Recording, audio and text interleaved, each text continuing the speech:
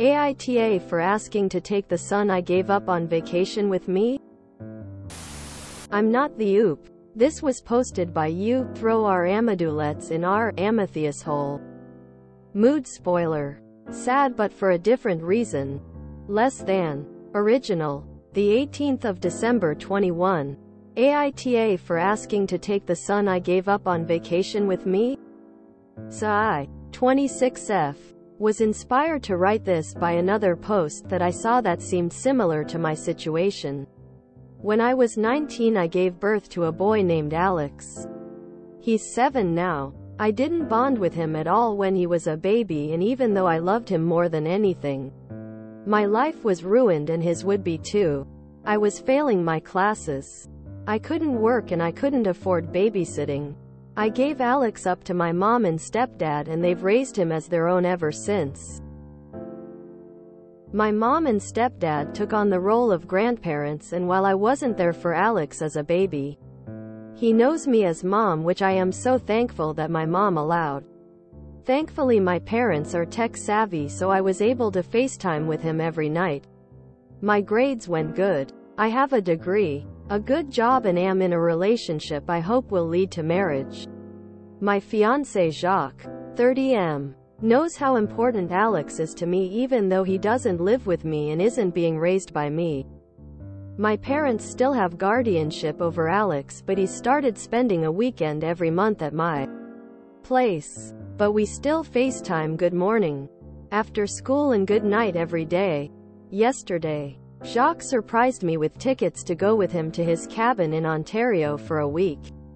Jacques really likes Alex and wants to get to know him better.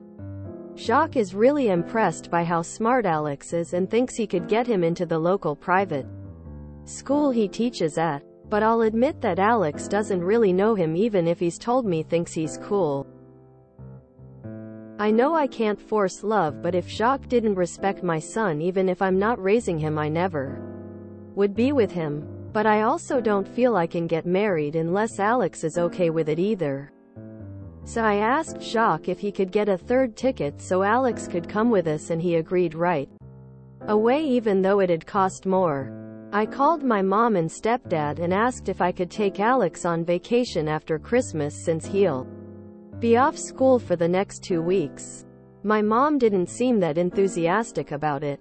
My stepdad pretty angrily told me that he, my mom and Alex already had plans for that week and that they did not want to cancel them and that he was really upset and hurt by me asking without even thinking they had something going on. He told me to go and sort out my priorities before phoning them back. I talked to a friend of mine after that who I appreciate for being blunt and she told me it was an asshole thing to ask because I didn't focus on Alex enough to even know that he and my parents might have plans. And I've felt super terrible about it since because I don't want to be taking my parents for granted. I told Jacques and he told me I wasn't wrong to ask since I wasn't demanding anything and that my friend was wrong for saying that I was an asshole but I'm not sure. Hashtag verdict asshole. Update. The 28th of January 22. Update. AITA for asking to take the son I gave up on vacation with me? Hey everyone. My fiance learned of my account yesterday and advised me to make an update cause I got voted. Asshole. After I posted I was going to go to my parents and apologize in person but my stepdad came over. Instead, he took me to the ice cream shop he'd take me to when I was little to talk. I used some of your pointers in our talk. He apologized for making the comment about my priorities and said he was wrong. He told me how proud he was of how far I've come. How I'm the light of his life and that he'd always stand by me. He told me he and mom were scared I'd try and take custody of Alex since I am finally ready to be a mom and if that's what I want, then he'll support me. I told him I just want what's best for Alex but my biggest fear is he'll grow up thinking I didn't love him and I want him involved with me and Jacques cause he's the most important thing to me. That I don't feel like I can get married or have more kids unless he's okay with it cause he's my baby. We agreed to work something out after Jacques and I came back from the cabin. He gave me a big hug and a kiss on the forehead when he dropped me off. That was the last time I saw my stepdad. He had a massive heart attack when we WRE at the cabin and he passed. I don't like typing that. I moved back in with my mom and Alex cause I don't want my mom to be lonely or for Alex to feel abandoned. Since then I've kind of gotten to really be mom. I've been making all Alex's food, dropping him off, picking him up, helping with homework, putting him to sleep, cuddling with him, everything my stepdad did for me. It's tiring but it's more rewarding than anything and I just wish I could see my stepdad again and ask if I'm doing a good job. Thankfully my work has provided grief counseling and I'm able to take Alex with me. I think it's helped him more than me cause when my mom put up a photo of when my stepdad first took me fishing and when I saw it when I came home I just broke down crying cause I miss him so much but then Alex came and hugged me and said mommy you don't need to cry. For my mom I'm going to keep stepping up and be there for her. And for Alex I'm going to try and get stronger than I am so I can be the mom he deserves. Thank you guys for giving me help before. I know things are a bit sad now but I think the future is a bright one and my stepdad always told me to look forward. Thanks. Reminder I'm not the oop. Oof. That update. I'm glad Op was able to have that closure with her stepdad before he passed and hear how he saw her as the light of his life. Wow. I saw the trigger warning but wasn't expecting what came next. I am really happy for her that the last interaction she had with her stepdad was such a loving one. My mom suffered a fatal heart attack out of nowhere on the 22nd of December. So that update really hits home deep to me personally. I'm glad that they were able to have one last meaningful conversation. And that the stepdad passed with Op knowing that he truly loved her. And likewise that she loved him. TH update broke my heart but I'm glad her stepdad and her got the closure.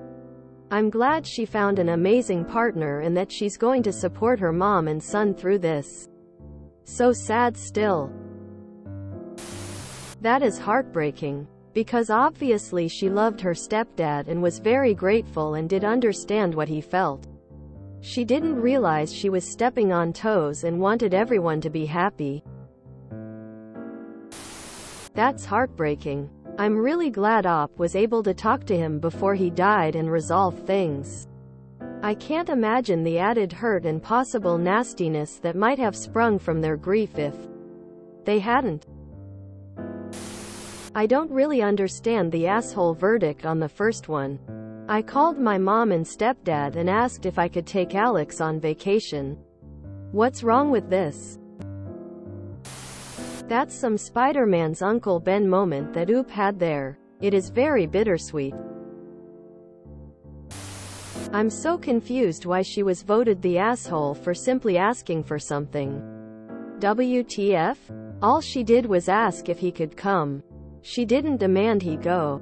What about that makes her an asshole? Very sad update though. Imagine what her world would be like if stepdad had waited to have that talk. The whole trajectory of her life would be different. I came into this thread intending to be like, well, yeah, of course Oop was top, from the title alone. But how could people have voted she was an asshole after reading that post? She was 19. She was struggling. She knew that she couldn't provide for her and her son. Her parents took over as guardians with an open understanding between all parties. It wasn't some closed adoption or anything close to that. They spoke every day, multiple times a day. He spent a weekend a month with her. And he calls her mom. The update is heartbreaking but I'm glad that there was love in that last interaction between her and her stepdad. I'm glad that Oop feels fulfilled with her relationships. All of them. Even if she's grieving. I'm glad her fiance is supportive and loving. I don't understand AITA at all sometimes. Oop did nothing wrong, at all. It's both heartbreaking and heartwarming to hear how it turned out. I can't imagine it was an easy decision to have a baby so young and realize you can't properly take care of them. I'm glad this child seems to have a good support system, and that Oop is in a better position to take care of them.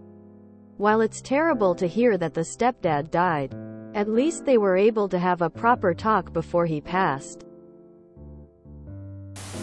Why is Op an asshole?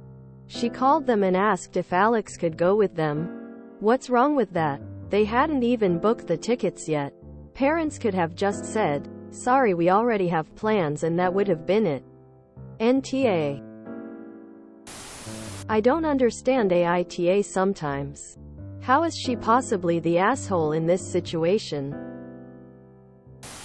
I don't understand why Oop was the asshole in the first bit. There is nothing wrong with asking and equally nothing wrong with the parents saying they already have plans. Can I take kid on a holiday this week? Quote. No sorry we have plans already for that week.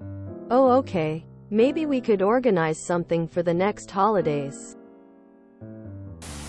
Maybe I am misunderstanding the situation but why was she voted the asshole? All she did was ask? If she had demanded to take him then sure. Asshole. But she didn't?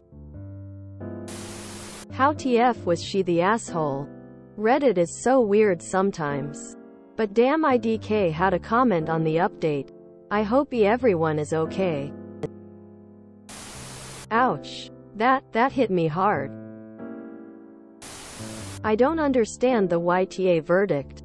She just called to ask if he was free that weekend and they blew up at her. I swear AITA hates moms who abandon their kids and try to be better. I remember once this woman got deathly ill and was slowly recovering. But her mom wouldn't let her see her son because she was sick for too long and see the grandma as a mom now. That poor woman got voted top. Then in the update it turns out the boy dearly missed his mom but grandma wouldn't allow visits and tried to literally kidnap him. Wish I could remember the title of it. Oops family is grieving and hopefully healing. Oop gets to learn how to be a better mother and support her own mother. If you enjoyed this video, please check out our playlists full of similar content. Epicaricast is like doom scrolling for your ears. Please like, share, and subscribe.